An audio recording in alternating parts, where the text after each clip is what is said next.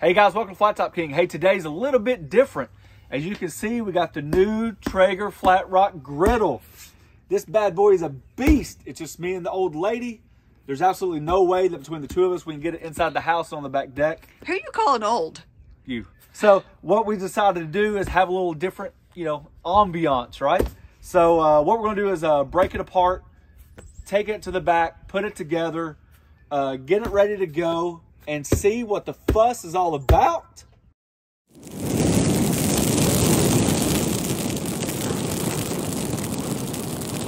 Start here to get fired up, Betty. I was already fired up when it came off the truck. Sure, that's instructions. We'll come back to it. Golly, what packaging? Who does this? This is the first Traeger anything I've ever had. So I'm not familiar with it. If packaging says anything, good Lord. We got all the pieces broken down, moved to the back porch, ready to assemble. Um, talking about first impressions, we haven't even put the darn thing together yet. And let me show you what we got. I just absolutely love it. I think every parent out there can agree. You can get your kids whatever you want. Uh, but ultimately, they play with the boxes more than the toys. Absolute phenomenal job. You can actually put this together. You're going to throw it away anyways.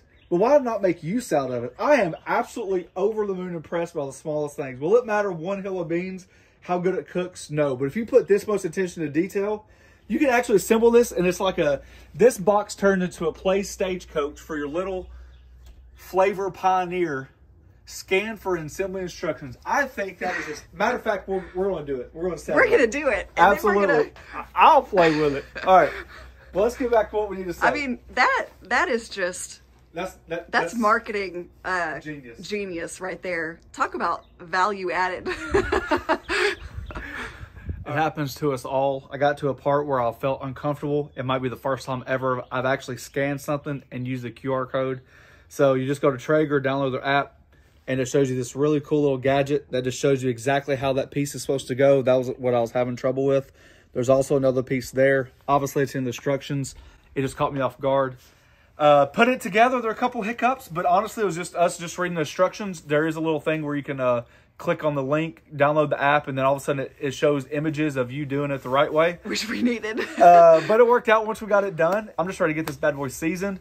But let me tell you, and I ain't lying. I ain't lying. I'm smiling. Whole different vibe. This one fr- from the other one that I did. This thing is a beast. It is a tank. Every single thing that we put together is absolutely thick, coated metal. There is nothing cheap so far that I've felt. Everything has felt just absolutely solid as a rock. And it is huge. For a three it's, burner, It's big. it's huge. like it doesn't even the whole thing doesn't even fit. I can't right. step back far enough. You're just trying to get the, all those old, old oils off. Um, I definitely feel like the the actual surface is extremely rough. We sanded our Blackstone down because of that. Um, I won't be sanding this down, even though it's rough. It's you. It's uh, uniformly rough, if that makes sense. It's not. Um, there's no really high spots or anything like that. Reminds me a lot of my Camp Chef. Um, Now you would normally be washing it with the griddle off. Can we just have that disclaimer? Well, it's just a low. I mean, you're going to wash it anyway. I mean, plus it helps release those greases, those uh, oils that they use on there. Helps dry it out. It's not a big deal. All right, now that it's washed off, we got all that uh, oil that it came shipped with off. We're just going to turn the burners on high, give it about 10, 15 minutes, and um, start the seasoning process. Oh, today, first time ever, I'm using grapeseed oil. You guys know I'm a huge fan of avocado oil. Um, I also like the Crisco uh, lard, hard lard. Um, one of the things where like it seems like I don't get a season often. A brand new one. Right. So when you have the opportunity, I like to use different oils. Those three are kind of like all in the same category, but this will be my first time using that. There's no difference. You know, I'm not doing anything crazy. It's just a different oil that I want to try. So that's what we're doing today. All right, we got to the point where we need to be. It's been preheating like 10 minutes. Uh, just shooting the infrared gun. Uh, hitting up there about 500, which is what you would expect. Pretty even heat coming across. Grapeseed oil, we're gonna treat it just like avocado or that Crisco. We're we're looking about like five different coats, something like that.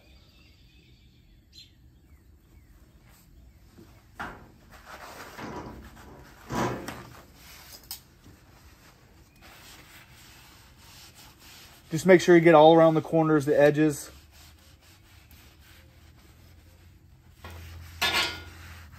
And then you're looking about another 10 minutes in between each one to let all that oil burn off.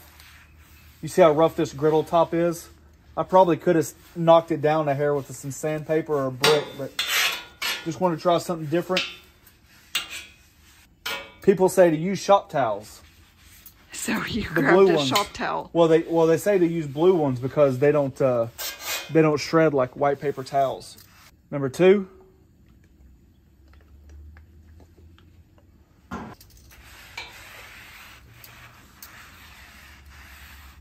All right, we're hitting about the number three mark on the seasoning.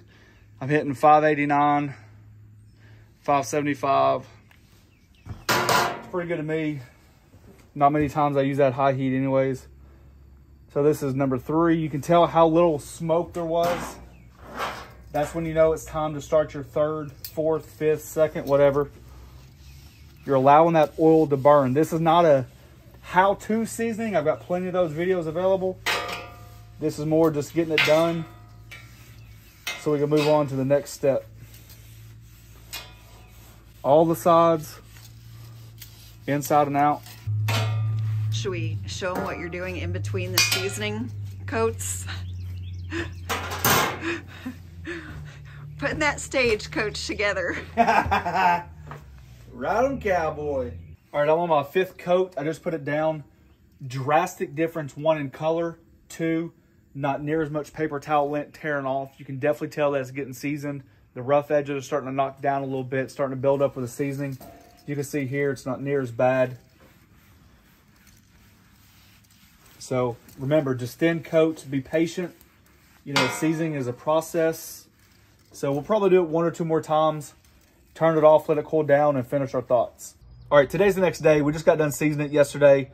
Um, between putting it together and seasoning it, um, and me having fun with the uh, with the stagecoach. We just ran out of light, and I thought it'd be just better to film it the next day. So that's where we're at. Um, but I do want to say like a quick disclaimer before we go forward. Um, this griddle was given me to me or us for free. Uh, Traeger reached out because of the support of you guys. Um, with the Weber griddle review, you guys can see the comments just like we can. It was just flooded with Traeger, Traeger, Traeger, Traeger, Traeger. And I think they noticed that, and it just gives us the a great opportunity to come forward with you guys with a new griddle. That being said, the hardest thing about this whole opportunity we had was whether or not we buy it or we giving it to us for free. The reason is it feels like we lose credibility just because we got it for free versus buying it. Uh, so I just want to re reiterate to you guys, or maybe put caution to the wind. Traeger knows dang well after our communication with them that just because we get a free griddle does not diminish our value and what we feel like should be said on the griddle. We're going to give it our true assessment, our pros and cons, our goods and bads. We're going to put it through the paces that we see fit, right? We're the ones cooking on it. And so it's our information relaying on you guys. So believe it or not, I mean, I was actually, I was actually pretty excited. They were confident in their product. They said, we understand the two feet you're standing on. We understand the community you've built. And we would just love the opportunity for you guys to show it to your viewers. And I said, okay. And I said, um, just to reiterate, if we do receive it for free, there's no obligation. Like, like this is not a selling point or nothing like that. And they said, no, matter of fact, we actually like that because we feel confident in our griddle. We'll take the bruises if they come, but we think we've put out a good enough product. And I got to be honest with you, talking to a company like that really kind of not necessarily took me off guard, but I really appreciated them taking the opportunity to reach out to us and or take the lumps as they come based on our opinions. So I just want to get that out there. We got it for free, but by no means does this change our opinion. And I think everybody out there at this point knows what our opinion is. It's our opinion only. Can yep. we get back to the good stuff? Yep. We we will make the same video whether we buy the griddle or we get it for free. Absolutely. We will make the same video. Uh, we're just going to talk about all the features, the things that we like, the things that they wish they'd have done, some of the things that we noticed right away. The first impression I get is holy cow. It's big. It's it's sturdy, it's beefy, it's thick, it's heavy as sin. Um, so it looks like a spaceship. I mean, that's what I think too. When we're talking about appearances versus other griddles in your first um, what do you call it? Your first impressions blows me out of the water. I've done a lot of research. I've seen a lot of people use them, and I'm just like, I did not expect it to be that big. I didn't expect it to be that heavy, and I didn't expect it to impress me as much as it has on the first appearance, even though I've already seen it. That's just how it is. All yeah, right. it does. It looks it looks almost like more impressive in person than it does on video. Would you say? Is that what you're trying to say? Yeah, I mean it is a beat. All the pieces that we put together were absolutely like thick gauge metal. Uh, the one thing we're gonna get to right now is the four caster wheels. I absolutely swear by caster wheels when it comes to griddle cooking.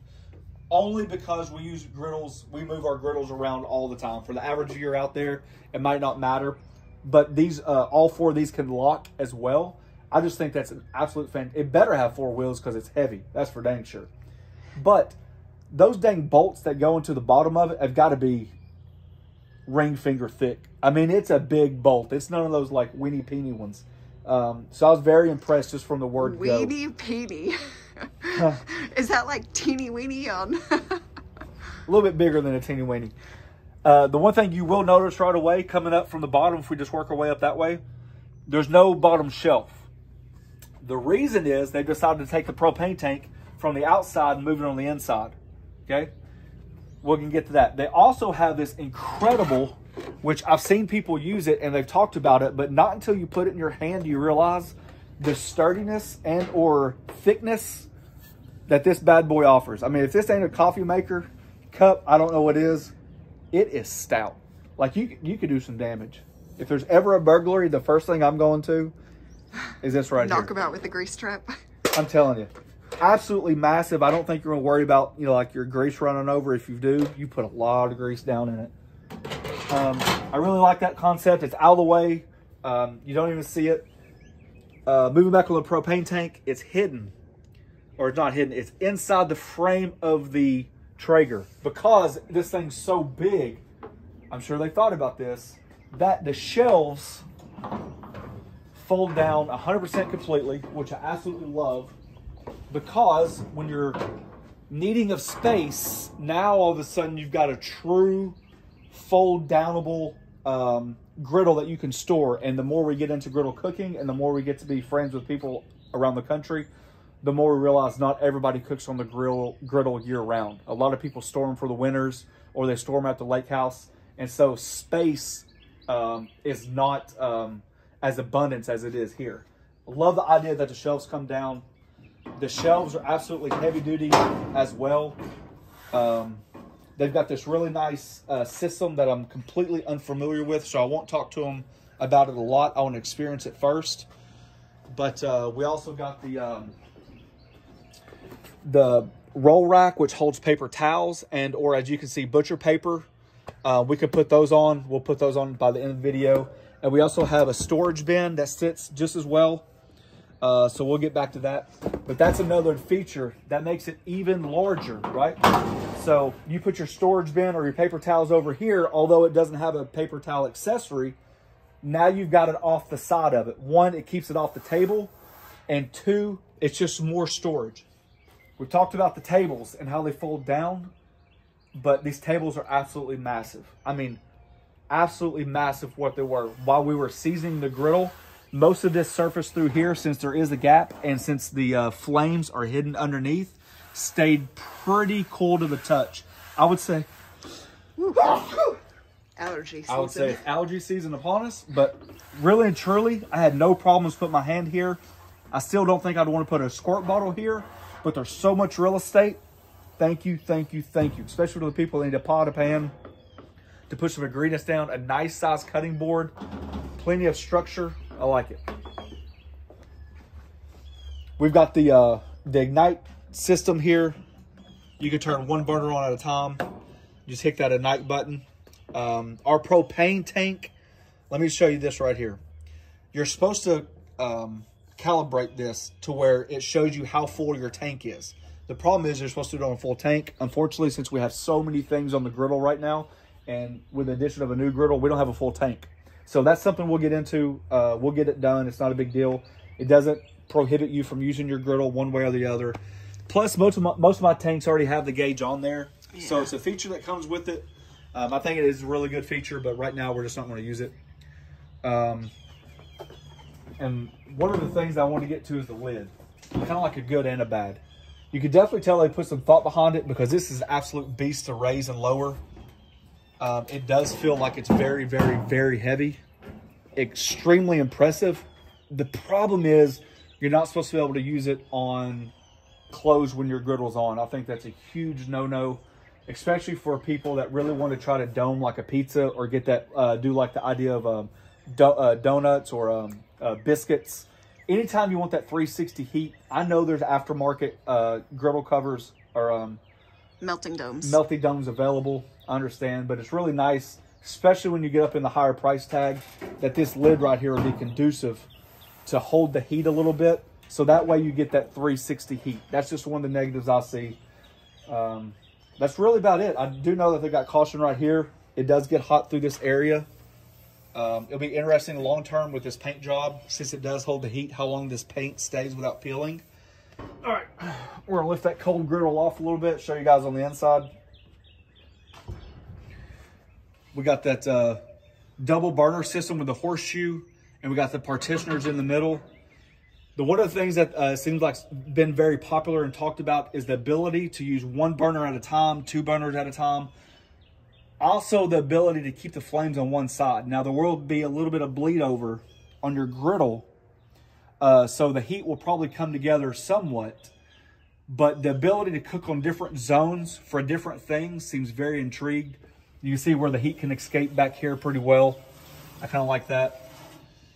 Um, looking on the bottom of this griddle, you know, I, I don't know what the future will hold. Typically, all the griddles we've had have had some type of back support for warpage. Uh, this looks pretty like a flat rock. Get it? but uh, um, so we'll see how long how long that lasts. It's uh it's heavy as sin, so that seems to be pretty well. There's not a lot of things I don't like about it, to be honest with you. I know it's all about um, the cooking from this part. Just like when we got to the Weber, we felt like uh, we didn't like the design, but it, it cooked well. all of this. It missed every single bit of this, but it excelled right here, and ultimately that's what we're here for. I didn't make the grill, I don't sell the grill. I know there's a lot of people out there through the comment threads and stuff like that that complain that the price is too high. It's an overpriced griddle. Um, I, I think for the price of griddles that are out there so far, in my personal opinion, being a three burner, the three burner is actually dwarfs my two other three burners. So it's almost like a mini four burner. I would call it a four burner almost way before I call it a three burner. Uh, you'll see that when we do the pros and cons. The point is, I think each person has their own budget. So it's unfair for me to say it's overpriced or underpriced. I think what Traeger did, in my personal opinion, has come out swinging for the fences. They didn't leave anything to imagination. They didn't come out and just say, here's something, here's the market, see if you like it. They put a lot of thought behind it and it's hard not to respect that part of their business being an outside fan. It's first Traeger I've ever had, but I'm I'm if first impressions matter, it's built like a rock. It's absolutely beautiful, and I cannot wait to cook on it. So at least that gives you excitement. I'm sure a three-year-old would fit in here better than I would, but I told you I was going to put it together and have fun with it. I tried my best to keep my kids out of it last night. They didn't like daddy too much. Last but not least, it's got a five-year warranty. I told you I was going to get a kick out of this thing. Traeger's got a five-year warranty. I think it's pretty cool. After do some research, a little bit more about what it covers. Um, I'm not sure about the griddle top. Sometimes there's uh, variations, but we'll get to that and get you guys some information. I'm over the moon impressed. I really am. I think it's absolute workhorse. It's a beast. Um, I'm smiling before I even use it. So hopefully the actual cooking lives up to the appearance. Um, you guys know what happens when we break into a griddle. The first thing is cheesesteak. Second thing is breakfast. There we go. So when you're talking about price and you're trying to compare the two, this is why I think my emotions, you know, were just so high once I actually got it and unboxed it. Versus this when I said it just lacked the appearance. So just to give you an idea, right? So the Weber with the side tables that do not adjust are 53 inches, not including the rails. Oh, I don't know if I got how much tape measure.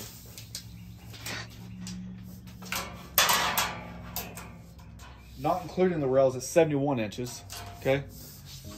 the griddle table 22 and a half, 18 and three quarters. The lid comes off so it's not hinged, which is not a big deal. I know it's not a big deal, but it's just something extra. 18, 18 and a quarter. You ready for this? For a three, for a three burner? 28 inches, and here's the kicker. 33 inches, so five inches difference. Um, you see the height difference? This has no wind guards at all. So you're looking at what, 35 inches? And this to the ground up is about 37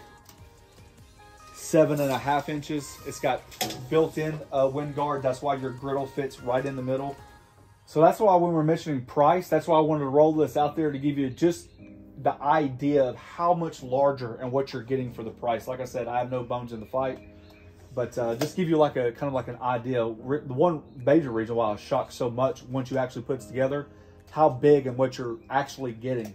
The proof is still in the pudding when it comes to the surface. We'll get to that as soon as we can, but ultimately, that's the way it goes. Uh, I know for a fact uh, that you guys have been asking and asking and asking. We've just been waiting and waiting waiting for the right time. We will do another pros and cons video, an upgraded pros and cons video. Uh, we've got the Pit Boss, the Blackstone, the Traeger, and the Weber. It's a good combination of all the griddles, different sizes, different heights, what we like, what we don't like. So we definitely upgrade that. Uh, we'll definitely do some head-to-head -head competitions. Um, and other than that, that's about it. Thank you very much, Traeger. Thank you, the Facebook Griddle Group, and thank you for each and every one that's commented uh, because if you guys were in a position where we can give you feedback like this, and sometimes people like it, sometimes people don't. If you guys are uh, interested, we have a join button down below. It's a membership program. We thank each and every one of you for taking time for doing so. Uh, check us out on the Griddle Group on Facebook, where we talk about griddles. I'm and sure we'll be talking about this one. high on the list. Love it or hate it, it's the number one talked about griddle that we found in our griddle group. Uh, thanks for watching. Don't forget to press that subscribe button, pound the notification button, share it with your friends. Welcome to the family. Traeger Flat Rock Griddle.